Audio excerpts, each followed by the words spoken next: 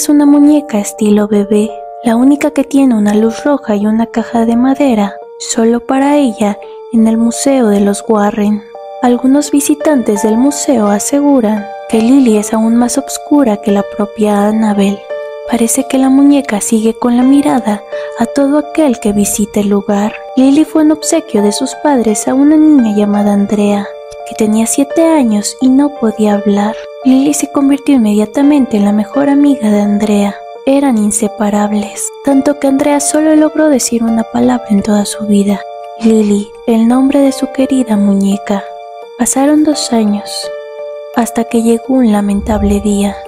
Andrea subió a la azotea para enseñarle a Lily las vistas, pero lamentablemente las dos cayeron al jardín y la pequeña falleció inmediatamente. Después de eso, a Andrea la enterraron junto con su muñeca, pero sorprendentemente siete días después, los padres encontraron a la muñeca sentada en el patio.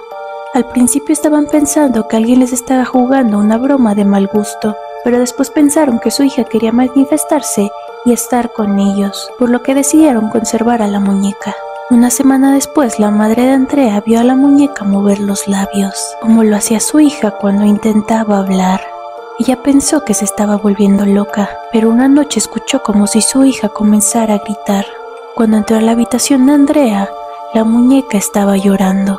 Llamó a su marido espantada, esperando que él no viera lo mismo que ella. Sin embargo, no era una ilusión. Los dos estaban viendo lo mismo. La muñeca estaba llorando. Pasaron los días y la muñeca comenzó a tomar los rasgos de su fallecida hija. Cada vez se parecía más a Andrea. Comenzó por los ojos, luego por el cabello, hasta llegar al punto en el que era prácticamente igual. Por las noches todo era peor, debido a que se escuchaban risas y pasos por todas partes.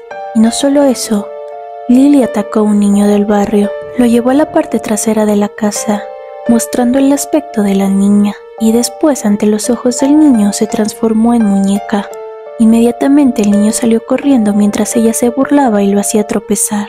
Como la familia estaba aterrada, decidieron donar la muñeca al Museo de los Warren. Pero en la mañana en la que irían por ella, apareció el padre de Andrea apuñalado, con la muñeca Lily a un lado, cubierta de sangre y llorando.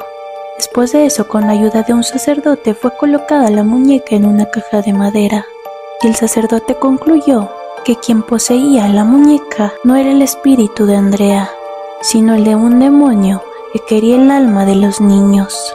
¿Y tú te atreverías a jugar con Lily?